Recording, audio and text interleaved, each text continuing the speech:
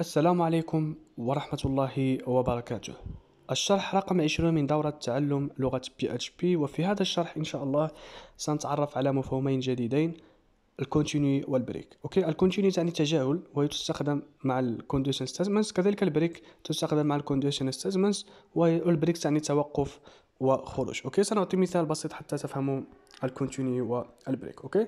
هنا سأقوم بوضع آه، حلقة تكرار مثلا آه، a يساوي صفر. أوكي ثم هنا نقطة فاصلة. ثم حين يكون ال يعني أصغر من عشرة مثلا. ثم نقطة فاصلة. ثم في كل مرة ال سيتم إضافة له واحد بهذا الشكل. وسنقوم بفتح ال block. okay هنا سأقوم بوضع conditional statements. okay؟ بهذا الشكل. If حين يعني يساوي ال i okay؟ ركزوا معي جيدا. حين يساوي مثلا خمسة okay؟ حين يساوي خمسة قم بتنفيذ ال continue يجب أن تكون جميع الحروف سمول بهذا الشكل. ثم هنا ضع نقطة فاصلة بهذا الشكل. ثم بعدها يعني قم هنا بطباعة. إيكو. يعني قيمة ال i هنا سيقوم بطباعة قيمة ال i الشكل قيمة ال i نقطة فاصلة. يكون مثلا هنا سيقوم بوضع هكذا هذا الرمز. جيد. إذا هنا ما الذي سيحدث؟ أول شيء سيقوم ب بتنفيذ ال for يعني i يساوي في الأول اي قيمه قيمة ال i هي صفر okay؟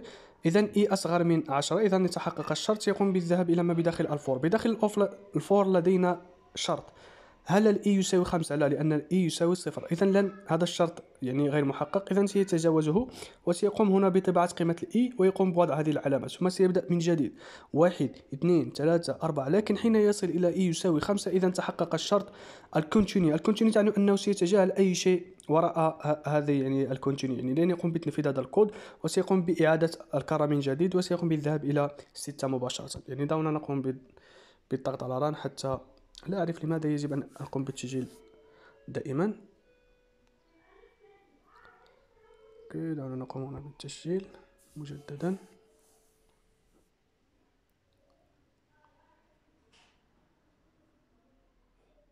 okay run.